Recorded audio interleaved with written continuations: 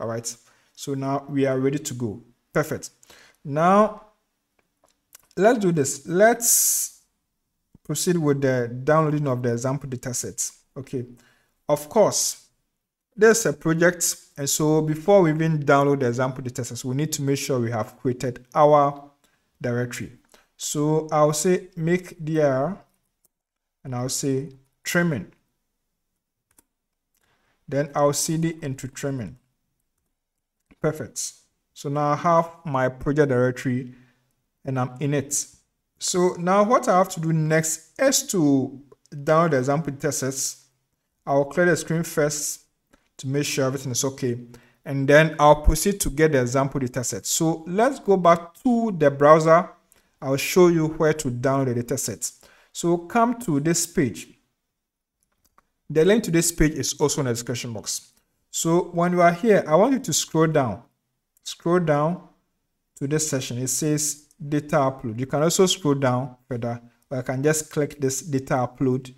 It will send you to that section. So when we are here, scroll down Scroll down and we are going to find these ones here. You see, there is this and there is this. We want the smaller one, which is the subsampled one. We are going to take the first two. We are dealing with paired end read, so we need a read one, read two. So these are the ones we are going to take. So I'll start with the first one. I'll copy the link. I'll go to the terminal and then I'll download. I'm using Linux by the way. So I'll say wget and I'll paste the link there and I'll run it. So this is a small file, so we just have to wait for it to get done and we can get the read 2. All right, read 1 is done, so we need to get the read 2. So let's go back to the page and let's copy and then let's go back wget and we supply it with the link. So this read two. So we run it and then we will get our files. Okay, so we have our files. Let's clear the screen. Let's uh, ls and we are going to find our files here. These are reads, all right? Because we are also going to trim, we need to make sure we organize our files. So these are raw reads, all right? So let's create a directory called raw reads. And then let's move these files there. So I'll say mv star.fastq sanger. And I'll say raw reads. So now if I do an ls, I'll see my directory raw reads. I ls into it, I'm going to find my files. All right. These are the raw reads. It's important we run fastqc to assess the quality and then we can now compare to the trimming so that we are all on the same page. So let's first run FastQC. It's always important to run FastQC to assess the quality first. Okay. In some situations, when you run, it will be okay. So you don't need to do further processing. All right. In some cases, you run, it will do further processing. All right. For this tutorial and the context of this tutorial, we are only going to compare before and after trimming. So that's why we are running FastQC. So I'll say fastqc raw reads star dot fastq sanger. I can also do just star, that is fine. This will also run all the files, all right? But if you have different kinds of files in a directory, then this is where the extension comes in. So in my case, I will be specific. I'll say star.fastq sanger. I repeat, the star also works in this situation. Okay, so I'll run this and then FastQC will take the files and analyze them. These are small files, so it will take less than a minute. It's done. Let's clear the screen. Let's ls into raw reads. We will find our FastQC report. So we have an HTML file and a zip file for each.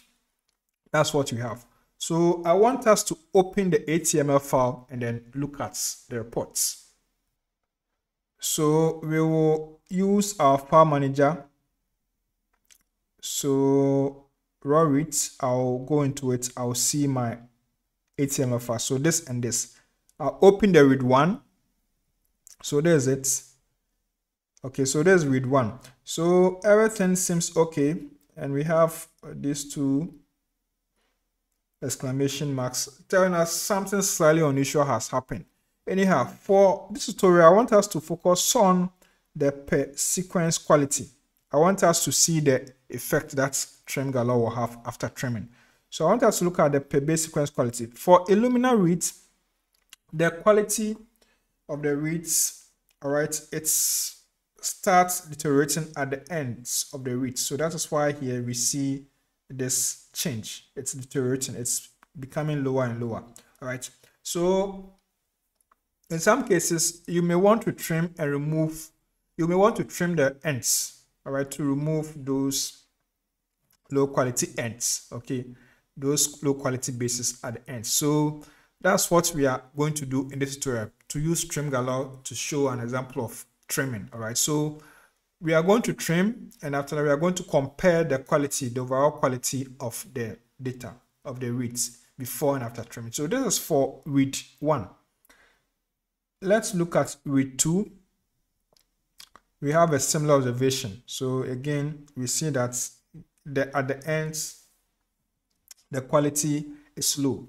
So we are going to trim the reads. We are going to trim and then after that, we remove those low quality ends. That's what we are basically going to do. Okay, so that's where trim galore also comes in. So we will run trim galore now. So we'll go back to the terminal and then we'll run trim galore. Of course, if you're going to run trim galore, you need to make sure you know the usage, you know how to use it. So on this page, we have instructions that let you know how to use trim galore. So we have quality trimming, adapter trimming. There are other ones here. Okay, so in the in this tutorial, we are going to use a very simple command. Okay, because for beginners, you need to start something simple and you can gradually build upon it. It's a demonstration. So we are going to trim with some simple commands and then after that you will proceed to uh, customize. So with trim galore, there are different options available when you scroll down, you see them here. Let's just check.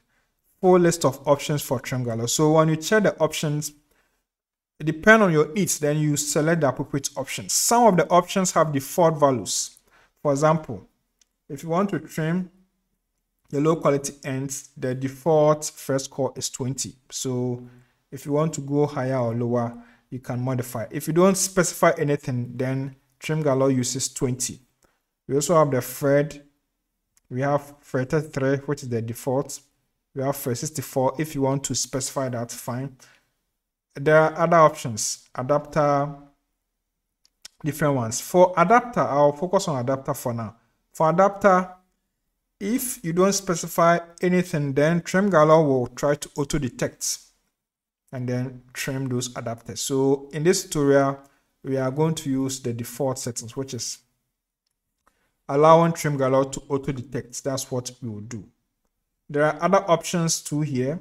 Another option we will look at is the outputs directory, where we are going to save our files, our trimmed reads, and then we will specify another information. We are dealing with paired end reads, so we need to let trim galore know. Okay, so that's it. And then we specify the read one, read two. Okay, so let's get back to our terminal and then let's do this we have our FASTQ files, read 1, read 2, and so this means we are dealing with paired end reads. And so if you want to use trim galore to trim the reads, you call trim galore underscore galore and we will specify that dash paired and then we give the options. All right. It's also important that because we are going to trim, you need to have a separate directory that will store the trimmed reads. It's very, very important. So if we do an ls, you have our raw reads, we need to get that directory also created, then we can proceed. So I'll say make dir trimmed reads. So the trim reads, this is where we are going to store the trim reads. Okay, so now we can run trim galore for trimming. So we will say trim underscore galore dash dash paired. And then I'll say dash kill quality. I'll just specify 20. It's the default. So if you don't specify 20 will be used, but I'll just specify it here. All right. And then we need dash O for output directory. So here is going to be trimmed reads. We need that information. Other information that we can specify is dash dash base name. Of course, in this tutorial, I'll skip it, but it's important you know that. So the base name, let me just show you. It should be somewhere here.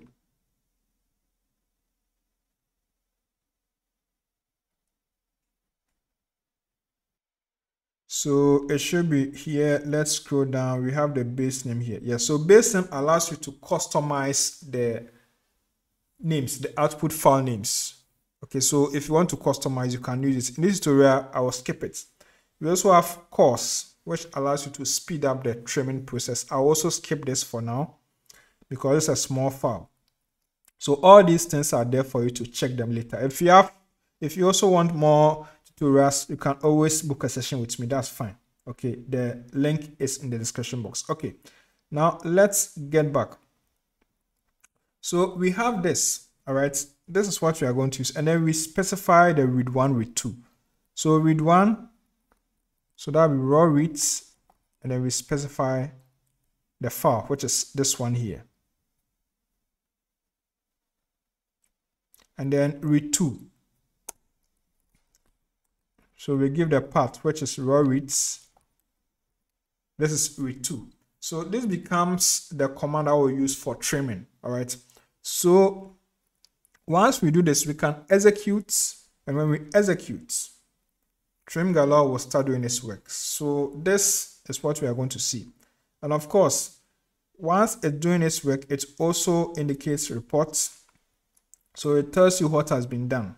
So we have the report indicated here. Okay, so you can save this to an output file, all right? And for the most part, all these ones have already been saved. So there's a file which contains this, all right? So take notes. These things are important if you want to go deeper into what has been done to your data, your files. For example, here we see total read process, read with adapters number. So these things allow you to better understand what has been done. And then it can also help you to identify potential issue. That's the essence of quality control. All right, so just take note of that. Now let's clear the screen. When we ls, we have our train reads, ls into it, and we are going to find your outputs. So we have the reports, the ones that were displayed on the screen, and we also have the train reads themselves. You notice that the same sample names have been used. Okay, the raw reads had their sample names, so the same names that have been used in addition to other names to help us distinguish between the raw reads and the trim reads. So this is for the reports for read one. So I can do a cut. It's a simple test file. So I can say cut trim reads. I can specify that one here. So trim reads one fast yeah so FASTQ sanger trim yeah so there's it. So there's the file. You can do a cut to display the contents. All right so let's clear the screen. Let's ls into trimmed and then proceed. You can also view this using your text editor. That's fine. All right and we have our FASTQ files which are this and then this Again, you can customize the names. That is subject for another video. Okay, so now we are going to run FastQC on the trim reads and we can compare to see the effects. All right, so I will say FastQC trim reads star.fq.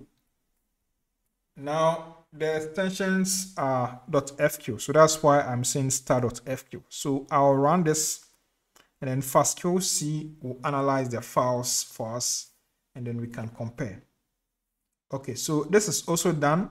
Let's clear the screen. Let's do an ls into trimmed reads and we are going to see our FastQC reports. We have them here. So what I'm going to do is to go back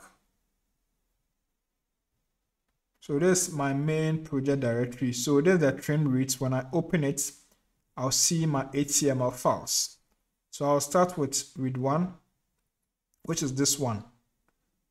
I'm going to shift this to this session so that we have the two read ones adjacent to each other. Okay, so now this is the raw reads, the, the raw data, and this is the trimmed one. You can see there has been a change. Let me enlarge this a bit. So if we take a look at this session here, for read one, we see we see everything here, right?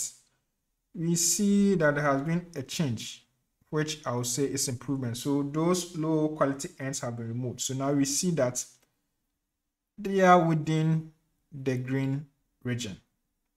All right, so just as we see here, in the trim galore page, all right, we see after trimming, we see them, there has been some improvement. So the same thing here with read one, we see that there has been an improvement because those low quality ends have been removed. So if you run your QC, fast QC, and then you'll see that some, the low quality ends are there. You would find a presence of low quality, or you find a presence of reads with low quality And Then one of the strategies is to improve your reads by trimming those low quality ends to remove those bases. Okay, and then you can proceed. So you need to decide which situation is appropriate, or you can consult you can consult your bioinformatician and then they will help you to or guide you to do the appropriate activity. Okay, so this is for trim galore tutorial. And so if you also have multiple samples, then what you want to do is to write a script that allows you to automate the process. All right, so you can use tools like Nextflow and then Snakemake, which are workflow managers to help automate the process. If you have multiple paired end samples that will help you or you can also book a session with me and we can look at that as well all right with fast QC it's also good if you are able to aggregate them we have reports now we have a total of four reports two for the raw rates two for the trim rates so ideally it becomes easier for you if you can put all these reports into a single report and then compare them and easily compare. So there's a tool called MultiQC that allows you to do that. So if you want to learn how to aggregate FastQC reports using MultiQC, then check the video right here.